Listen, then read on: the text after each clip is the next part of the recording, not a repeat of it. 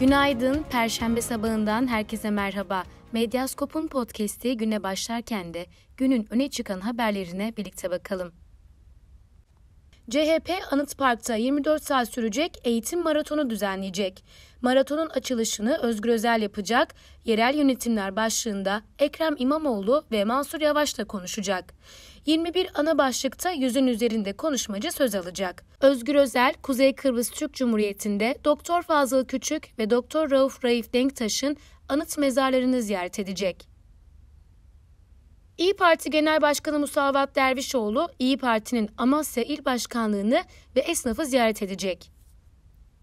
Türkiye Büyük Millet Meclisi Genel Kurulu'nda tasarruf paketi görüşmelerine devam edilecek. Türkiye Büyük Millet Meclisi Plan ve Bütçe Komisyonu'nda vergi paketinin görüşmelerine başlanacak.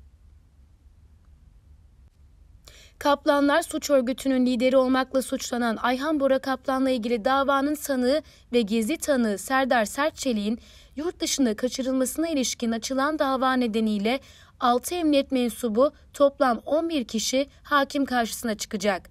Ayhan Bora Kaplan'ı havalimanı yolunda düzenlenen operasyonda gözaltına alan dönemin Ankara İl Emniyet Müdür Yardımcısı Murat Çelik, eski şube müdür yardımcısı Şevket Demircan ve eski şube komiseri Ufuk Gültekin Serdar Çelik'i yurt dışına kaçırmak ve ifadesini yönlendirmekle suçlanıyor. Hayvanları Koruma Kanunu'nda değişiklik yapılmasına dair kanun teklifindeki maddeler Türkiye Büyük Millet Meclisi Tarım Orman ve Köy İşleri Komisyonu'nda 14. saatte görüşülmeye başlandı. Kanun teklifinin ilk 3 maddesi kabul edildi. Komisyon toplantısı 22 Temmuz pazartesi saat 14'e ertelendi.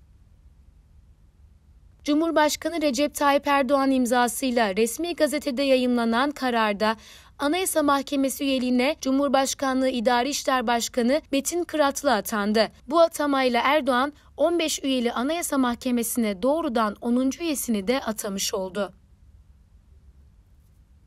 Agos gazetesi genel yayın yönetmeni Hrant Dink'in öldürülmesine ilişkin kamu görevlilerinin yeniden yargılandığı davaya devam edildi. Mahkeme 7'si tutuklu 15 sanığın yargılandığı davada tutuklulukların devamına karar vererek duruşmayı 11 Ekim erteledi.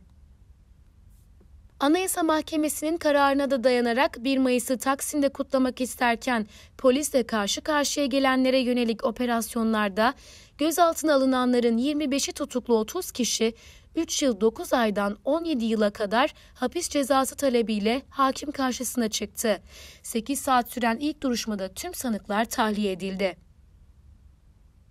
Kahramanmaraş merkezli 6 Şubat depremlerinde Gaziantep'in Nizip ilçesinde yıkılan Furkan Apartmanı'nda yakınlarını kaybedenler ve Nizipli yurttaşlar 19 Temmuz'da görülecek karar duruşması öncesi Nizip'te adalet yürüyüşü gerçekleştirdi. Acılı aileler gün gelecek devran dönecek, katiller bize hesap verecek dedi. Rakibi Donald Trump'la karşı karşıya geldiği canlı yayın sonrası adaylıktan çekil baskısı altında olan Amerika Birleşik Devletleri Başkanı Joe Biden koronavirüse yakalandı. Aşılarını yaptırdığı belirtilen Biden'ın hastalığı hafif semptomlarla atlattığı belirtildi. Gün içinde gündemi takip etmeye devam edeceğiz. Medyaskop'u sosyal medya hesaplarından takip edebilir. Ayrıca Patreon veya YouTube'un katıl butonu üzerinden de katkıda bulunabilirsiniz. Yarın yeniden dinlemeniz dileğiyle. Hoşçakalın.